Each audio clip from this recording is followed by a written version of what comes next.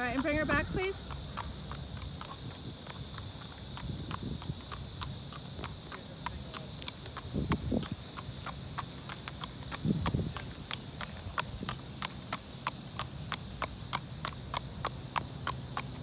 And then walk her back up the hill again.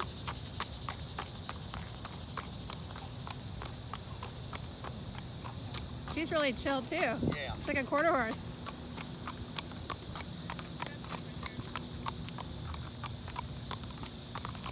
All right, and then when you're ready, we'll jog her. Actually, go further up if you can.